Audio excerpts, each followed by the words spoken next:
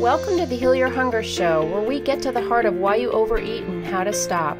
If you struggle with food and weight like I did, welcome home. Welcome, everybody, to the Heal Your Hunger Show. Really happy that you've joined me here today, and I'm really excited about my guest. Um, we're not doing your conventional health interview here, or we're not talking about all different systems in your body, or, or we're not talking about different aspects of emotional eating. We're talking about something a little further out, which is absolutely essential and very, very pertinent to the emotional eater's experience. So, um, about two months ago, I had the experience of attending a networking, a networking event where this beautiful woman, uh, Misty Tripoli, was uh, teaching us how to groove. And and I was fascinating. I was absolutely fascinated by the dance moves that she was teaching us, uh, but even more about your experience, Misty, and how it all came about. So here is Misty, and she's uh, really going to talk to you about your body and moving your body. And as I said, it's so central to the emotional eaters experience because we've spent so many years hating our bodies and trying to control and change and fight our bodies and she's really talking here about how to move our bodies and love our bodies so welcome misty thank you it's great to be here you're here i know yeah this is awesome and she lives in mexico so this is a big treat to have her here in la woohoo yeah i always got to come and get my groove on in la That's when i can right. That's right. And for anybody who's listening and not watching, uh, Misty's here with me in person. So she's visiting my home, and we're uh, recording here together. So that's a big treat.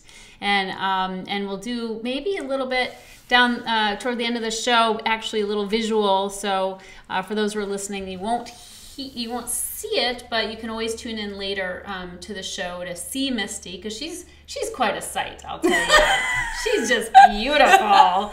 So uh, you can see her and then um, it's your groove. So tell me about your experience and how you got into this kind of dance. Or cre- and she's the originator of groove as well. Yeah well and now it's turned into a global movement. Absolutely. yeah now we're in 20 countries and it just and that's just within a few years. Like it's just exploded because it's such a simple practical way to approach dance that makes it fun and easy for everybody. So you don't have to be coordinated you don't have to have experience you don't have to know right left foot you don't have to feel like you're good at rhythm um, Which none of those I am. So It's perfect. I, I am uncoordinated. So when people say, "Oh, we're going to do dance moves," I'm like, "Yeah, count me out." Yeah, and I love people. to dance, but only if it's free form, fun. You know, just driving to the move. You know, to, to the music. So I was so happy when we you started teaching us that I'm like, "Oh, good. I don't have to be coordinated, like you Yep. said. I don't have to." Get it all right, or uh, you know, remember what step goes Yeah. where, or anything like that. So and yet it's not a freeform class because freeform actually scares a lot of people too. They're Probably. like, I don't know what to do. You tell me to move freeform. They just are like, I don't know because they've never done it. Right. So dance in all forms actually scares people, okay, but yet it is the most natural thing that we can do. It's mm. more natural than walking. We actually, if you put music on with babies, they will dance before they walk. And unfortunately, as we get older, it's conditioned out of us. It's feared right out of us. Like we're taught a right way to dance and a wrong way to dance, and there's good dancers and bad dancers, and and then we just get insecure. We hate our bodies. We're afraid to move them, and we just stop dancing. And what I mean by stop dancing is some people will dance, but they'll like. It's the kind of dance where you know you go to your Zumba class and you follow the teacher, or um, groove is just so much different than that. Groove because it just connects you so quickly, so deeply, and so intimately to your to your creative force, to so, the, whatever it is that beats your heart, and how purely um, or how pure it is to actually just dance and move to music. Yeah, and i just I, it's an epidemic actually globally.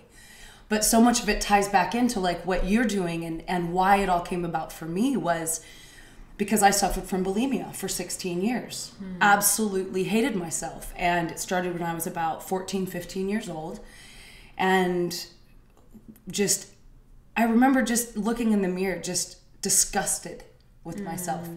and it's so funny because we can all do this where I could look back now and I look at those photos when I was younger and I was like, God damn, you look I so it. good. Why wasn't I happy with the body I hated? Yeah, well, and that was also part of my awakening as I kind of just I asked myself those questions. I was like, am I ever going to be okay with this? am I ever going to look in the mirror and be okay? Or am I going to die still in the struggle with my body? And, and it became very clear to me, like a light going on that said, You were not born to live this way. You were not born to hate your body. And where did that come from? And so I started asking my questions where it came from. And then I started to look around. I was like, I don't, I don't have one example in my life of a woman that loves her body. I don't see it anywhere. My aunts, my mom, my cousins, my grandmother, everyone's on a diet, everyone talks negatively about themselves. And so, of course, I'm going to repeat that pattern. It wasn't my fault, you know? Absolutely. And so this struggle with bulimia, I, you know, I came to LA and so it amplified it exponentially. Eating, eating disorder capital of the weird world. Jesus. and then I was in health and wellness. I started teaching aerobics when I was 16. Oh, no. So I could get paid to work out um, because that's supposedly healthy, right? Uh, but it's just another form of bulimia. Yeah. And I abused my body. Just, I was teaching 20 classes a week, getting up early to ride the treadmill for an hour before I started work and teach my classes. And I was toxic. I wouldn't, I use foul language, but I wouldn't shit for a week. Like, and I just had boils on my neck and I just, but I didn't care. I had liposuction when I was 21 years old. No. Yeah, like, terrible. no, Oh my god. and no, it's I, I just like oh my god, where like, and I realized you know when you go back, I just realized I was completely unconscious, I was completely unaware. Um, I was just repeating the patterns, and I was confused. I didn't know who I was. I was just trying to be beautiful so that I could receive love, Yeah. um, and not knowing that I, I wasn't aware of that's what I was doing, but Right. that's what I was doing Of course. But I've always loved to dance. Like my mother called me tippy toes. She's like, you literally jumped out of my vagina onto the table and you just started wailing your arms and your legs and you haven't stopped since. And and it's true. I just had a knack for it. I always loved it. I followed dance, but due to the fact that my mom had seven children, I couldn't take lessons and you know, Right, there was no money. So, which was a blessing, actually. It all is a blessing. This is another thing, is just to trust your life and trust your path and mm. every little thing the good, the bad, the ugly. And so, when I look back at it, these blessings that brought me to this point. And so, this love of dance, but I always dance to impress people, Okay. I, I don't think you're the first. right? and I always dance to like, I love to perform, I love to put on a show, and I could follow choreography very easily, and I had a knack for it. And I was just like, and so when I would teach my fitness classes, I would teach them just like everybody else does. Um, I was naturally really good at it because I could dance, and I would choreograph for shows and ESPN, and I did all this stuff. Did a hip hop world tour. I was a street break dancer. I mean, like, I just, Wow. I love dance, but I never danced for me. Like, really, for like me, like my Yeah. guts, my soul, like to express the the whatever's going on inside. Yeah. And then about 10 years ago when I was in my early 30s, I um I had a very powerful powerful spiritual awakening. Like a like a, a metaphorical punch in the face that knocked me out. Literally I couldn't leave my house for 2 weeks. And what it was was the truth. The truth just pummeled me and it was so loud and it was so um relentless and these truths that came up to me were very clear, and they are the foundation of the groove method, the methodology that I use to help people dance, just let themselves dance. And it happened when um, I was I was at the pit of my despair. I was bankrupt. I was working sixty hours a week. I was making really good money, but I was living still living paycheck to paycheck. I um, was unhealthy. I was unhappy in my relationships. I didn't know who I was, and I some there was some deep, deep deep callings like my high self inside was making these promptings and I finally started to listen which was sit down Misty be quiet and pay attention so every morning I would get up and I would sit in my chair and I would just breathe and pay attention and I, I now know I started my meditation practice at that point. point and then at the same time I was also called just to dance and I um, I went to a studio every day and I would put my iPod on and just put it on shuffle and I would dance.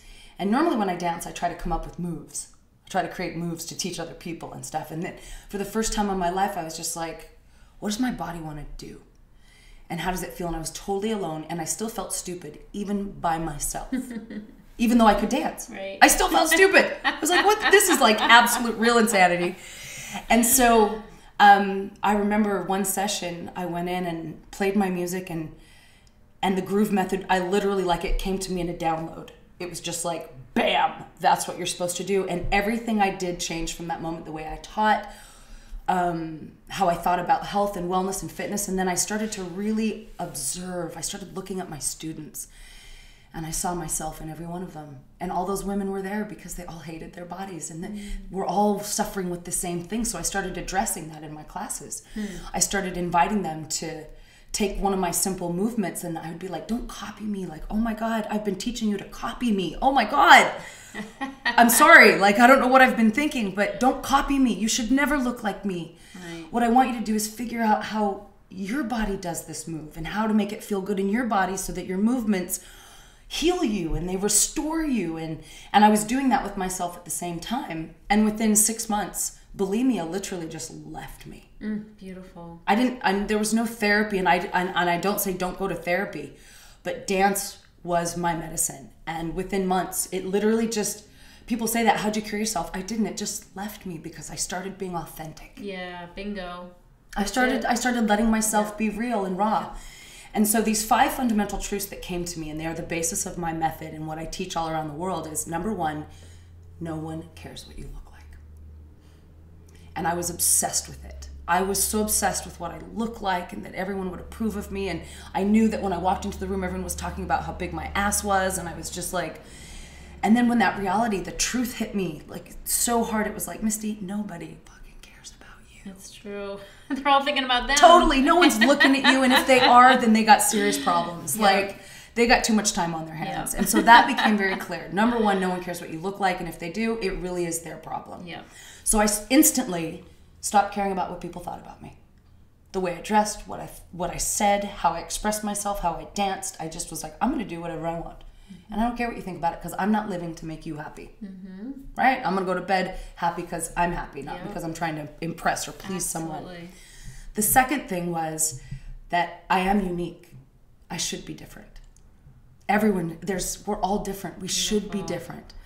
The third is that when I do things my own way, when I do it authentically my own way, I cannot get it wrong. And I applied all this to dance. It's who you are. It's who you are. And when you trust God made you. exactly. and when you do it, you you get to light up and you get to experience life at a whole other level. Yeah. Right? And yeah. then the fourth one was no one will do it for you. Mm, and no one can do it for you.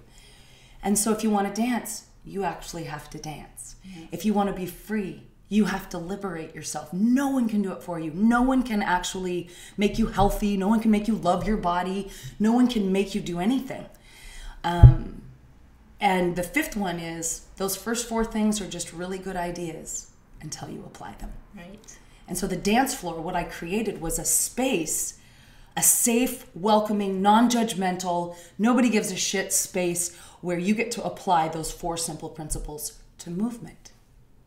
And it is baffling the results that happen. Oh my God. And I've, I've witnessed it. You got I have witnessed it. A, whole room full of women, awkward and self conscious, and like, what's she going to make us do? You know, and all of a sudden we're moving around in a circle, you know, walking the whole, you know, span of the room, and you're telling us, you know, little little suggestions to, to start, you know, getting comfortable in our bodies. And before you know it, we're just ecstatic. We're just like in so much joy and fun. And and we're also interacting with each other too. Totally that's right? that's a very important yeah so it's like we're doing our own thing and we're authentic in our bodies and at the same time we're super aware of people around us and we're having these sweet little connections with people. So talk a little bit about how it actually plays out. Well that's the magic of the group dance floor because if not it's just another kind of dance experience. Right. the part that really makes it so magical is the unity. Because every human being needs to belong so you always do it in a group I well, I have a home practice that you do by yourself, but okay. it's very therapeutic and it's very um, where you really want to do it in privacy so okay. that you're by yourself and you can really get to know yourself. That's okay. a whole different practice. But the groove dance floor is done in a group. It's a group dance experience. Okay. And the unity is key. So what happens and how it works is I establish I'm the facilitator. I hold your hand all the way through. Mm-hmm. It's not a freestyle. I don't just put music on and say, no. "Go, do no, whatever you're going to no. do." Uh, that would be. I can see how that would be anxiety producing for most people. Uh, yes. Yeah. They freak out. They're like, oh, this is a little wet. So I'm like, nope, I'm going to teach you a move or a rhythm. It will be very simple I know you can do like walking, but it doesn't matter if you're on your right, it doesn't matter if you're on your left, and it doesn't matter what rhythm pat. Like if you feel the rhythm differently than we do, trust the way your body feels the rhythm. But for instance, I'll say, okay, we're to walk. So I get everyone unified in just a walk, a one, two, one, two, and you can repeat it. And I get people so that they're into like what I like to think is like a mantra of movement. So their brains, you can stop the obsessive thinking of judging yourself. Oh my God, I look stupid. Oh my God, because this is going to spin if you've never done it before. Everyone's looking at me. Oh my God, I'm just, this is awkward. I feel. Yeah. So what I try to do is give your brain something to chew on so it's not judging. Okay, I forgot about that part. Right? Well, you you wouldn't have known it. I didn't even Uh-huh. Oh, tell you that. Okay. I don't That's have to tell you that. It's Okay, unspoken. I just gotcha. I do that. That's like one of my little secret weapons, right? So I just get you. I get you saying, okay, now in your mind, everyone together say one, two, one, two, one. And if your brain has something to do, it can't think two thoughts at one time Gotcha. Okay. right? So I get you out of your head and into your body very quickly, very easily with walking. So what we do with walking is I and then I tell you the truth. Don't follow anyone. There's no lines. There's I want you to explore all the different places you can walk. I want you to explore all the different directions. You can go backwards and sideways, you can turn. And then I let you explore it. But you can't get it wrong. However you choose to do it is the right way. Right. And then I'll ask you and give you little promptings like, okay, what would happen because you're listening to the music if it's a funky song like play that funky music or whatever. I'll be like okay now it's a funky song so what happens if you start to let your head move while you're walking? What happens if you let your arms move and you add your personality to your walk? Mm-hmm. And so before you know it everyone's like it's it's a raging dance party within moments because people get oh the unity and then because we're all in that sync together we're in the groove together we can communicate so as we're walking around we can walk around each other we can play with each other we can high five each other we can right so it creates this very interactive but i think what groove is is basically what i know i've i'm i've created is i'm bringing back the ritualistic tribal dance that we did thousands and thousands of years ago and i've made it modern fun and and funky That's awesome. and accessible to everybody And it is. It really is. How do people who are uber curious right now? How do they learn about how to get involved in this?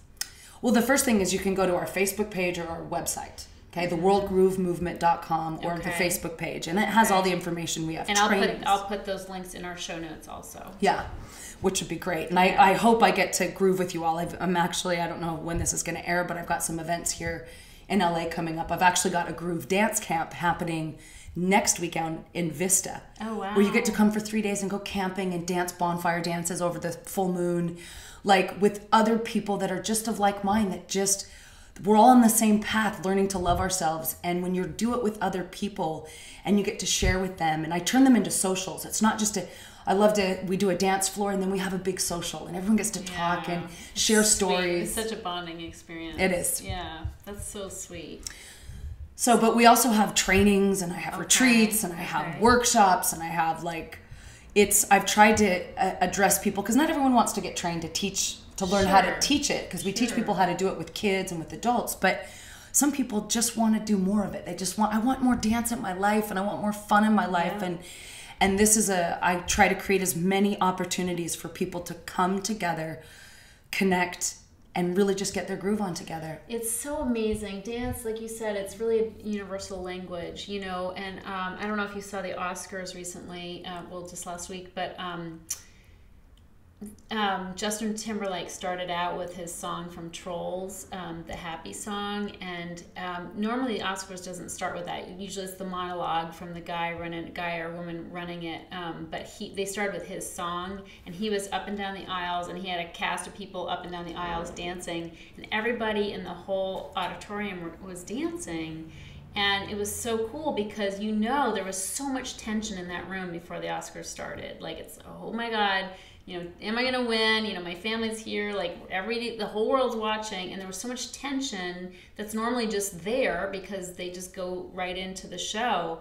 But when everybody, it's like I could feel it. I was just watching from the television, but everybody just relaxed and they got happy and they got back in community, not competition. And it was amazing how that song and that dancing just released that energy. And then the whole show is fantastic, just up, up until the end. I didn't get a chance to watch it. Yeah, But, um, but it was, but it was. I just thought to myself, they should do that every award show. Like they should have people dance at the first of the show because it really does release people's tension and it, and it unifies them. it unifies them and it does. It just because it's just the most natural normal thing that we do. Yeah. and we've done it together for th- eons. Like it's just you got to figure that if you just go back into our uh, human past it's we used it for everything. To praise to celebrate to to mourn to to heal to it was because it's not like anything else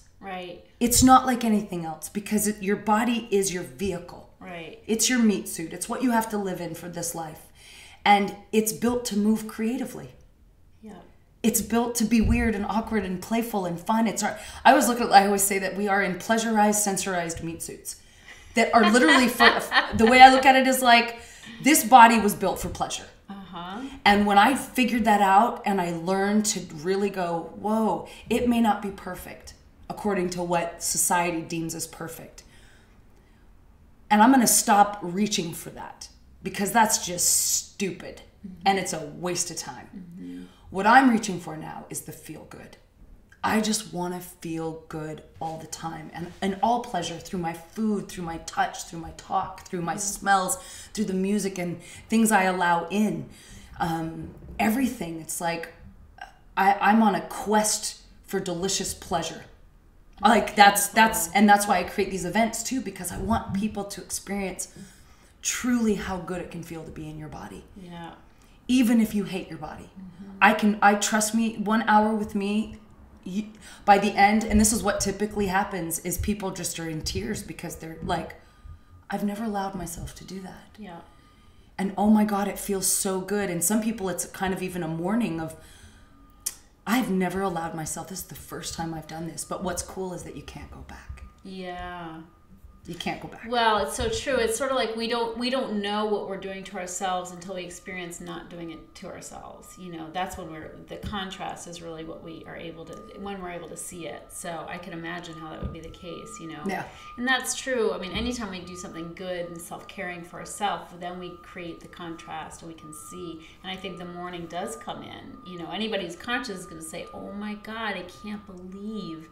I lived in bondage for so long, you know, that I, I held myself in bondage for so long, you mm-hmm. know, so. and even very conscious aware people the spiritual leaders Yeah. the whatever they're just as afraid of dance as everybody else Interesting. Which I find- insecurities. i find that it is like whoa really how liberated are we Yeah. how really like and so i really like to push those buttons too Mm, that's beautiful. to bring them to a new level. And I, I've got it.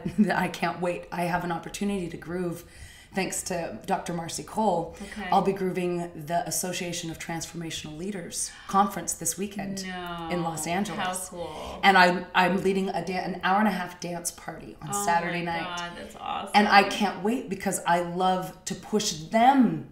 Like we apply all these amazing principles, but let's see how free you are in your beautiful vehicle Yep. because that's your that's your this is your ship Yep.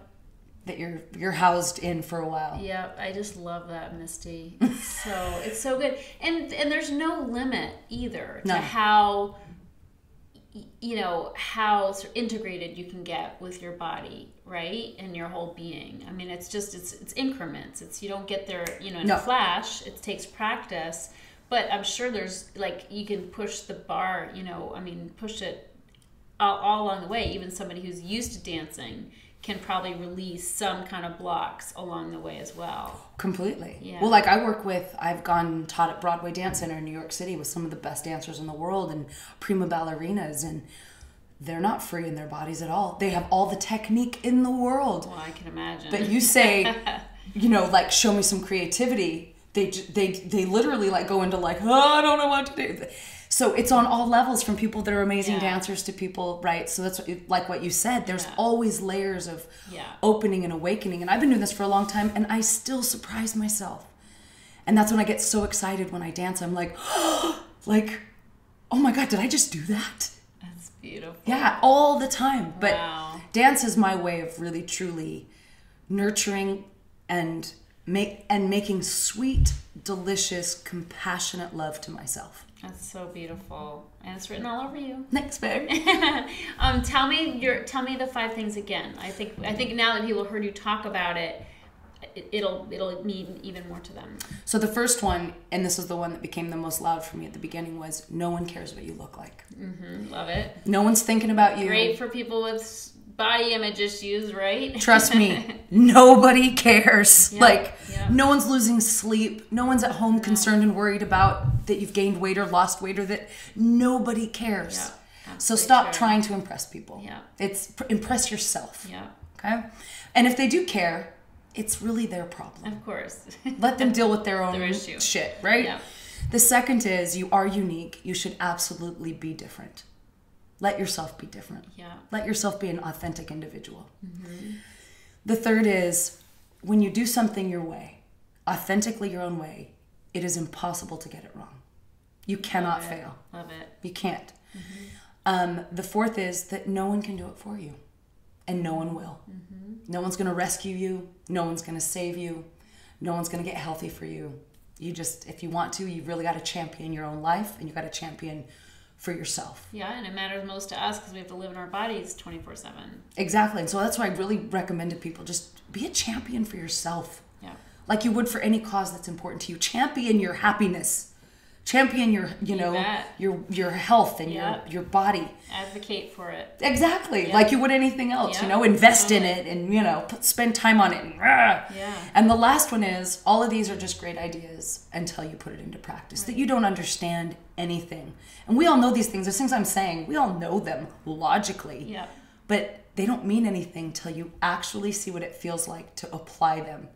And and that's why like the groove dance floor is so powerful because you get to feel those things instantaneously. And it's it's it's it's baffling. That's why so many people have such a powerful transformation just even within an hour on the dance floor. They just they because they, got to feel how good it feels to not get it wrong, to be authentic, to um, be unique and creative and unified, and feel that that their way is the right way, mm-hmm. and to trust themselves and to mm, trust mistakes. the way their body wants to move, Yeah, even it. if it looks ridiculous. I always tell people, when you look completely different than everyone in the room, you're getting it right. Right. Don't try to copy. Be yourself. Be your own individual. That's cool. What can um, people do who are listening uh, if they if are not driving or they're not at work?